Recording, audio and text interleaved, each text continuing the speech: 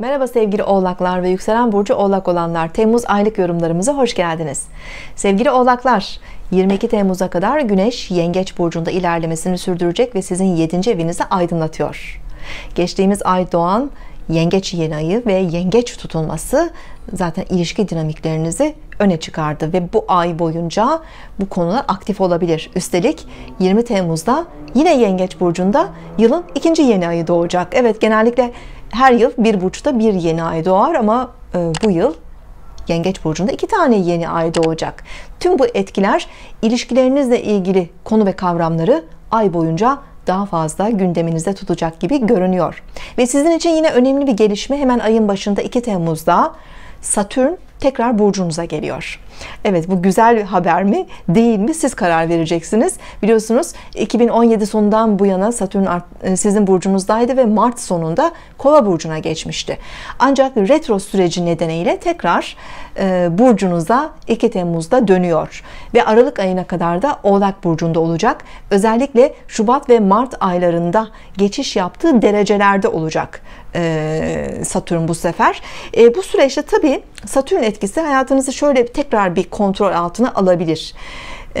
Bir şeyleri gözden geçirmeniz bir şeyleri böyle eksikse fark etmeniz bazı sınavlarla tekrar karşılaşmanız eğer hatalı ya da yarım bıraktığınız konular varsa onların sonuçlarıyla yüzleşmeniz veya onları tekrar ele almanız gibi konular kavramlar gündemimizde olabilir.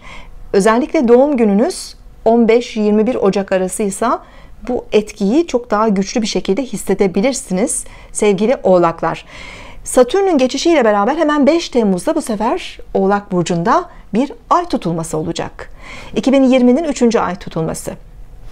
Ama son bir buçuk yıldır yaşadığımız artık Oğlak Burcu'ndaki tutulmaların da sonuncusu olacak ve 9 yıl artık Oğlak Burcu'nda tutulma yaşamayacağız. Bir sonuçlanma bir e, dönüşüm enerjisi var.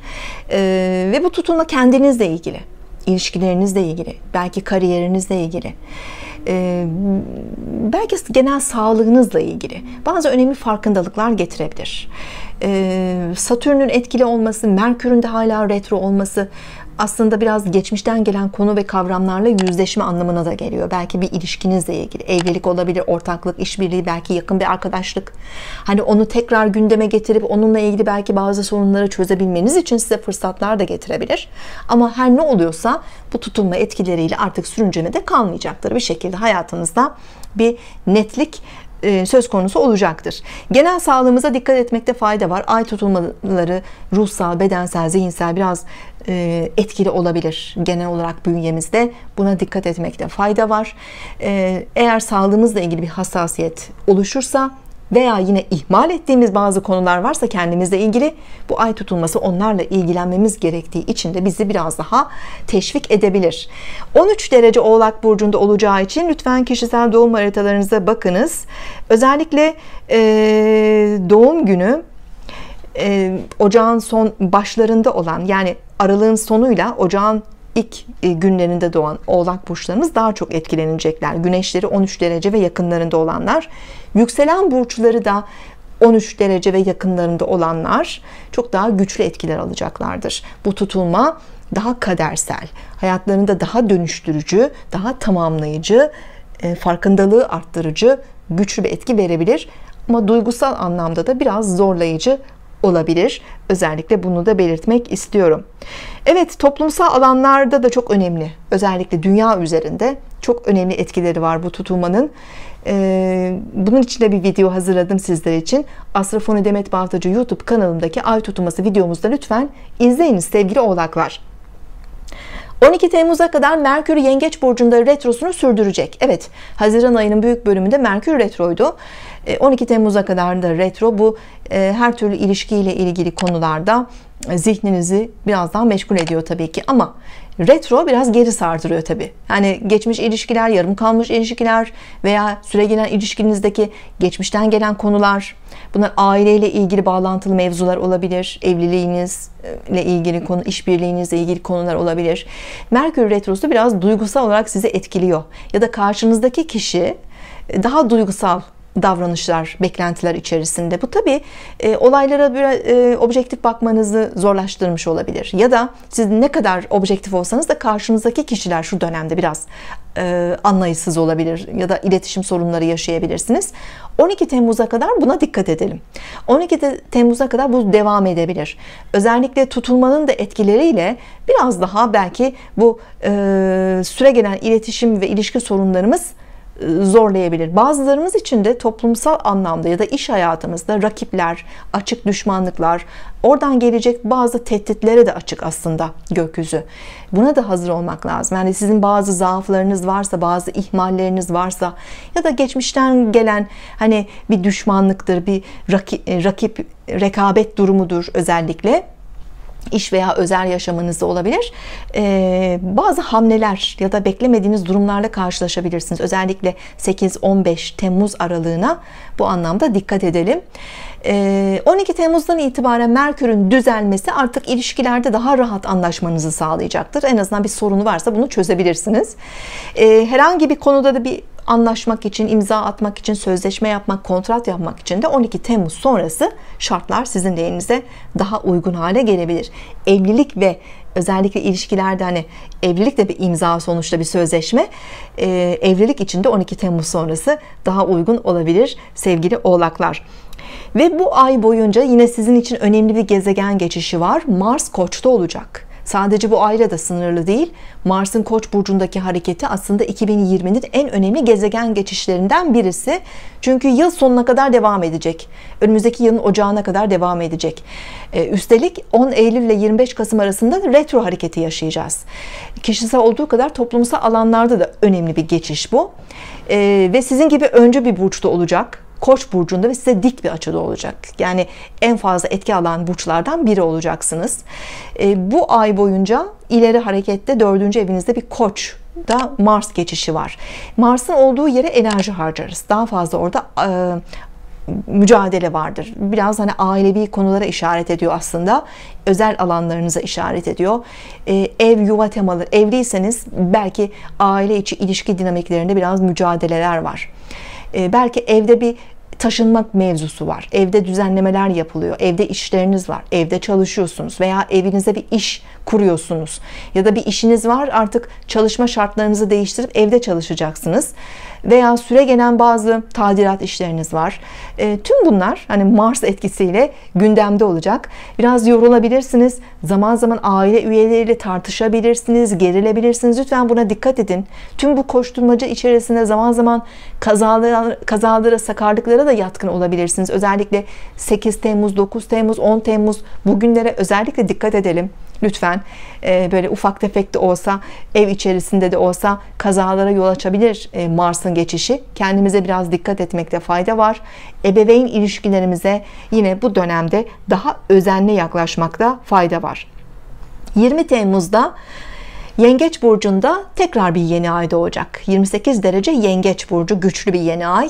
Üstelik burcunuzdaki Satürn'le de karşıt açıda. Güneş Satürn karşıtlığı 20-21 Temmuz'da kesinleşiyor.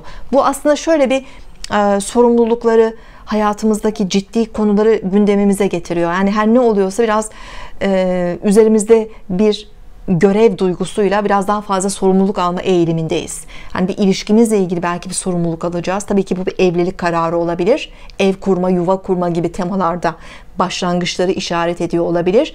Ya da bir ev alma, yerleşme gibi konular olabilir. Ve de aileyle ilgili belki ebeveynlerinizle ilgili bazı sorumluluklarınız var. Onların genel hayatı, onların sağlıkları olabilir. Bir aile işiyle ilgili belki sorumluluklarınız var.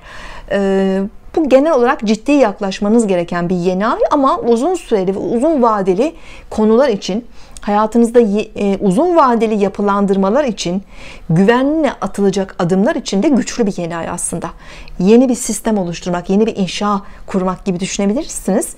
Özellikle uzun süreli ilişkiler, evlilik gibi, uzun süreli birliktelikler, birliktelikler, ortaklıklar gibi veya yeni bir iş kurmak gibi e, sorumluluklarda sizi destekleyen de bir e, yeni ay döngüsü olduğunu söyleyebilirim. 28 derece e, yengeç burcunda olacak. Özellikle e, Güneş burcu 17-21 Ocak arası doğan oğlaklarımız daha güçlü etki alıyorlar ve lütfen kişisel doğum haritalarınıza bakınız. Yükselen burcunuzda 28 derece ve yakınlardaysa yine çok güçlü etkiler alabilirsiniz veya haritalarınızda kişisel doğum haritanızda bireysel gezegenleriniz böyle öncü burçların 28 derecelerinde olabilir yakınlarda olabilir. O da sizi tabii ki önemli ölçüde etkileyebilir Evet yeni ay etkileri önümüzdeki ay ortalarına kadar gündemimizde olabilir. 22 Temmuz'dan itibaren Güneş Aslan Burcu'nu aydınlatmaya başlıyor. 8. evinize doğru şöyle bir gerileyecek. Artık ilişki dinamiklerinizden işte aile konuları, ilişkiler, eşiniz, partneriniz ve benzeri konulardan birazcık uzaklaşıp belki finans konuları, para konuları, harcamalar, gelir gider dengeniz, bütçenizle ilgili konulara Güneş geçişiyle beraber yönelmeye başlayacaksınız ama bunlar daha çok Ağustos ayının konu ve kavramları olacak sevgili oğlaklar. Sağlıklı, mutlu, başarılı bir ay dilerim. Hoşçakalın. Sevgili astroloji severler, herkes için yeni astroloji eğitimimiz Eylül ayında başlıyor. Siz de astroloji ile ilgileniyor, takip ediyor ve rehberliğinden yararlanıyorsanız ve öğrenmek istiyorsanız sizi de eğitimlerimize bekliyoruz. Astrolojiye ilgi duyan, takip eden, rehberliğinden faydalanmak isteyen herkes temel ve orta seviye astroloji eğitimlerimize katılabilir. Temel ve orta seviye eğitimlerimizin ana amacı öncelikle sizin kendi kendinizin astroloğu olabilmenizi sağlamaktır. Eğitimlerimiz boyunca doğum haritanız üzerinde birebir çalışmalar yapılacağı için bu eğitimi tamamladığınızda doğum haritanızın tüm detaylarını, potansiyellerinizi ve yaşam amacınızı da öğrenmiş olacaksınız. Kendi kendinizin astroloğu olduktan sonra yakınlarınızın, ailenizin ve arkadaşlarınızın haritalarına bakarak onların da astroloğu olabilir, yaşamlarında rehberlik edebilirsiniz. Astroloji derslerimiz online platform üzerinde olacağı için dünyanın hangi şehrinde, hangi ülkesinde olursanız olun bilgisayar üzerinden eğitimlerimize canlı olarak katılabilirsiniz. Canlı katılamadığınız takdirde de yapılan dersler kaydedileceği için her zaman istediğiniz kadar dersleri tekrar izleme, takip etme imkanını bulabilirsiniz. 2012 yılında bilinçokulu.com platformu üzerinde başladığımız online eğitimlerimiz her yıl düzenli olarak devam ediyor. Siz de bu yıl düzenleyeceğimiz eğitimimize katılabilir, öğrencilerimiz arasına girebilirsiniz. Tüm eğitimlerimiz ve dersler sırasındaki öğrencilerimizin harita incelemeleri tamamen benim tarafından yapılmaktadır. Astroloji eğitimimize katılmak istiyorsanız lütfen 0507 607 50 17 WhatsApp hattımıza isminiz ve doğum bilgilerinizle beraber mesaj atınız. Hemen size geri dönüş yapacağım.